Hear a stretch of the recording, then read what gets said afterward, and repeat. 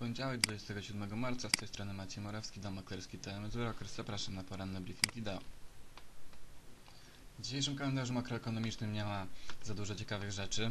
Za nami indeks e, IFO mm, z Niemiec, który wypadł powyżej oczekiwań. Zarówno e, główny odczyt, jak i mm, ocena bieżąca, czy też perspektywy. Jednak euro pozostało e, bardzo obojętne na, na tą informację i euro-dolar obecnie jest w okolicach 1,0860. Przed nami mm, z ważniejszych danych nie mamy nic, nic takiego ciekawego. Em, Warto jednak zwrócić uwagę na przemówienie Evansa z Fed oraz Praeta z e, Europejskiego Banku Centralnego. Zobaczmy jak sytuacja wygląda technicznie, ponieważ w końcu euro, eurodolar wybił opór przy 1,0830 y, i wyszedł na tegoroczne maksima. Mm, otwiera to drogę do, na zdecydowanie wyższe poziomy.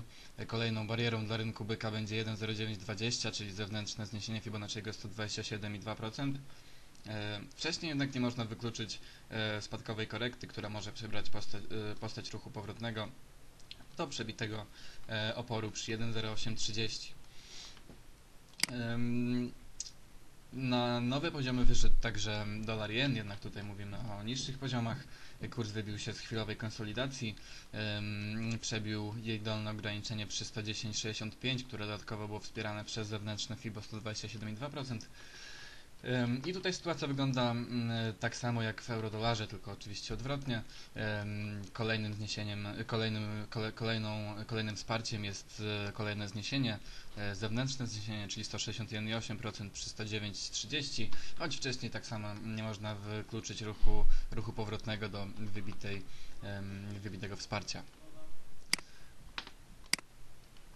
E, Na sam koniec EuroPLN, który tutaj tworzy w coś w rodzaju trójkąta przy, przy wsparciu. E, Tutaj warto poczekać na, e, na, na, na, na dalszy rozwój sytuacji. Zejście poniżej 4,2550, czyli tutaj tak, tych, tych minimów, e, pozwoli na spadek do 4 4,22, gdzie są, gdzie wypadają dołki, tutaj niewidoczne na, na wykresie. Natomiast em, oporem takim najbliższym jest 4,2750, czyli tutaj ten górny knot widocznej świecy. E, Wybicie tego poziomu pozwoli na wzrost do 4, w okolicy 4,29, czyli tutaj tej pomarańczowej linii. Dalej jej przebicie w nieco dłuższym terminie otworzy drogę do poziomu 4,34, czyli górnej bandy konsolidacji. Górnej bandy konsolidacji. Na dzisiaj to wszystko. Dziękuję bardzo za uwagę i życzę udanych inwestycji.